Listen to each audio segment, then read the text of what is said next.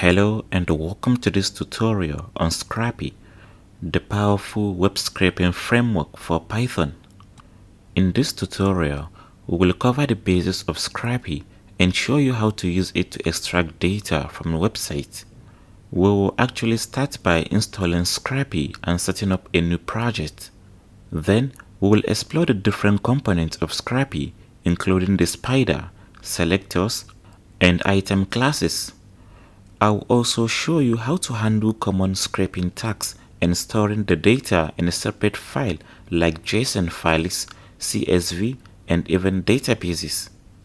By the end of this tutorial, you have a solid understanding of how to use Scrapy to extract data from the web. So without any further ado, let's get started. So before we begin, make sure you have Python and Scrapy installed on your computer. You can install Scrapy by running the following command on your terminal. pip install Scrapy and then hit enter. The installation process may take a few minutes to complete, but once it's done and we have Scrapy installed, we're to start by creating a new Scrapy project. So I'm to create a Scrapy project in my desktop folder. Then open up the project folder using the VS Code editor. So I'm going to say cd, which is change directory, and then pass in desktop. Now I'm at the desktop folder and we can also verify that by saying pwd, which is short for print working directory. So now that we are at the desktop folder, let's now create our Scrapy project. So to do that, I'm going to say Scrapy, then start project, and then the project name. So here, you can give it any name of your choice. As for me, I'm to go with scraping ninja and then hit enter. Alright, now our Scrapy project has been created and we can have a look of our project in our desktop folder which goes by the name Scraping Ninja. Now open your favorite code editor and open up the project folder in the code editor. So our Scrapy project is going to look something like this in whatever code editor you are using. However, let's have a look at the website we're going to be extracting data from in this tutorial. So we will be scraping data from the website called quotes.toscrape.com. I'm going to show you how to extract information from this website using the Scrapy package in Python. So next, we will create a Scrapy spider. A spider is what Scrapy uses to scrape websites and to create a spider for this project, I'm going to open up my VS Code terminal by clicking on terminal and then click on new terminal. So here is our VS Code terminal. And one thing to note is that make sure you are inside the project folder scraping ninja. And now we're going to run the following command on the terminal to create a spider. So I'm going to say scrapy gen spider. Then the name of the spider we want to create, which I'm going to say quote.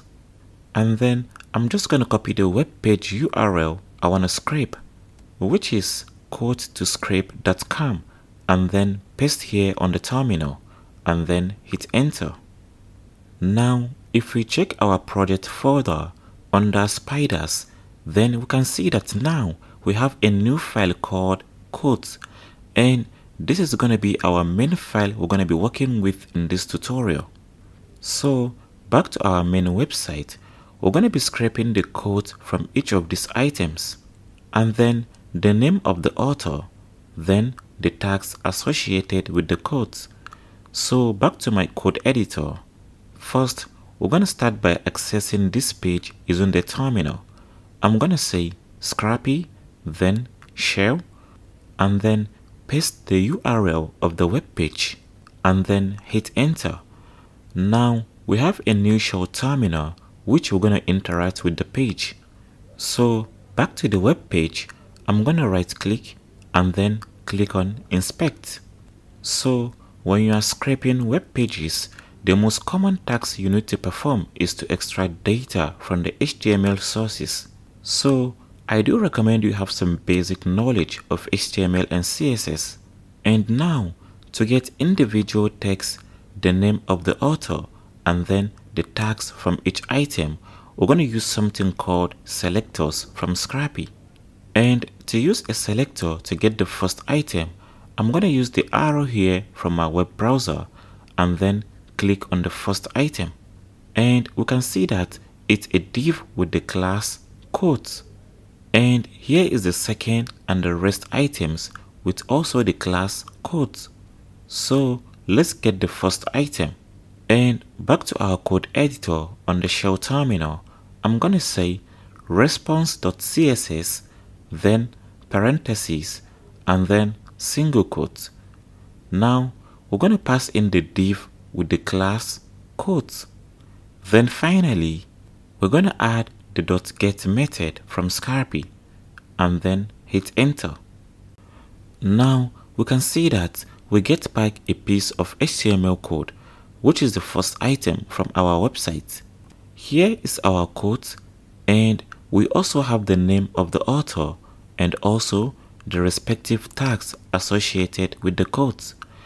Now let's start by getting the quote alone without the HTML code. So I'm going to get back to my web page. Then below here is the div tag and we're going to find our quote wrapped inside the span tag. And as you can see, it's of class text. So back to my code editor, I'm going to say response.css. Then we're going to get the span tag with the class text and then hit enter. Now we get back our code and if you notice it's also wrapped inside the HTML span tag. So to remove that press the arrow key from a keyboard on the terminal to get the previous command. Then we're going to add double column here and then pass in text then hit enter. Now we get back only the text inside the span tag. So back to our web page, let's actually get the name of the author. So if we check the second span tag, then we see another tag called small and it's of class author. So the name author is wrapped inside the small tag. And we're going to use the class name to scrape the name of the author using Scrapy. Now back to my code editor, I'm going to press the up arrow key to get the executed code above. And then instead of getting the tag span with the class text, we're going to pass in the tag small, then the class author, and then hit enter to run the code. Now we get back the name of the author. So lastly, let's actually write the code to get the tag names from our codes. So back to our web page, then we can see that our tags are wrapped inside the div tag with the class name tags. And also the tag is actually the link with the A tag, which also has a class name of tag. So to get this using Scrapy, we're going to grab our div with the class name tags, then our A tag with the class name of tag.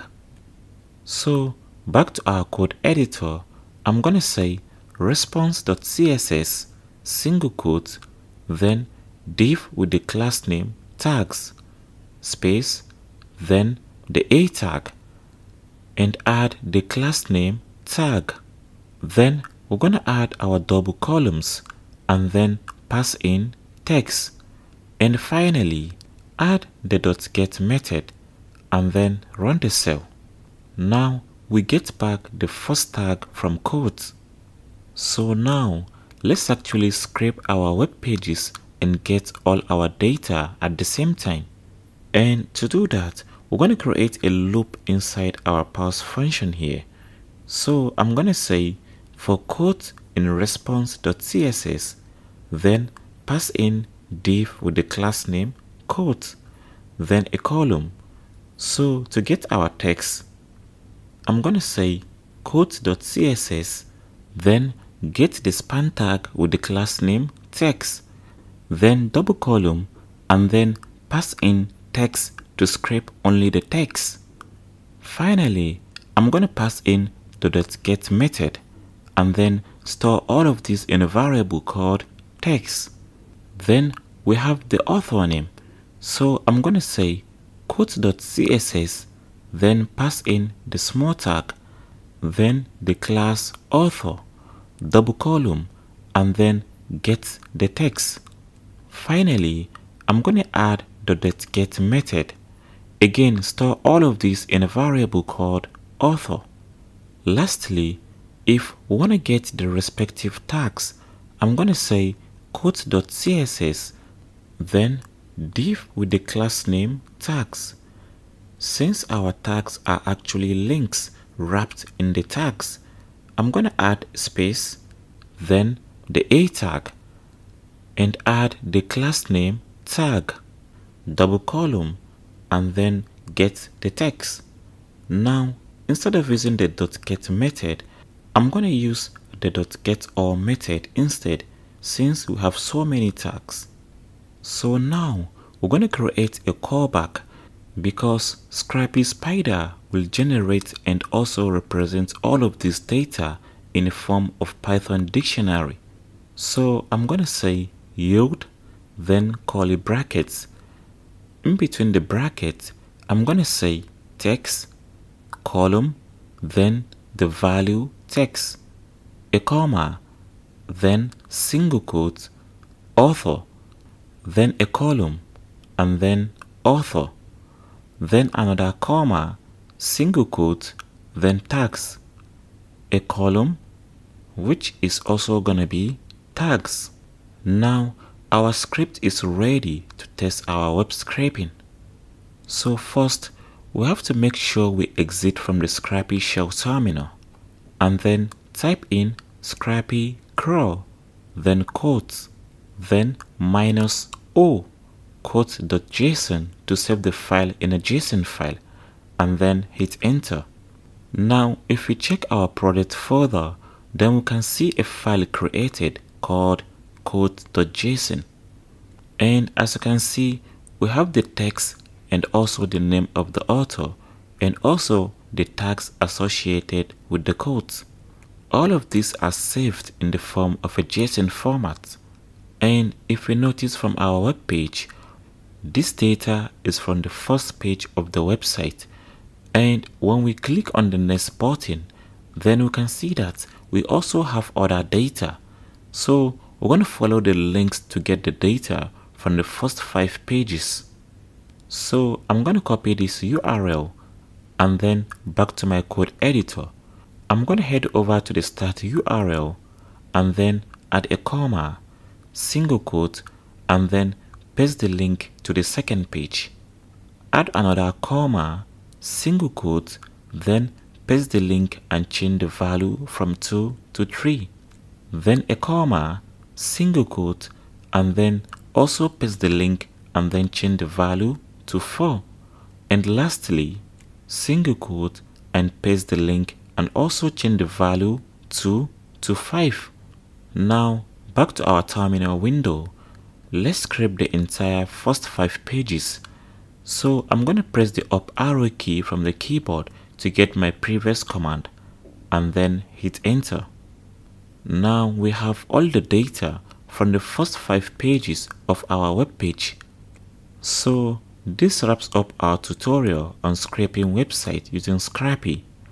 If you enjoyed this tutorial and found it useful, don't forget to hit the like and subscribe button for more upcoming tutorials.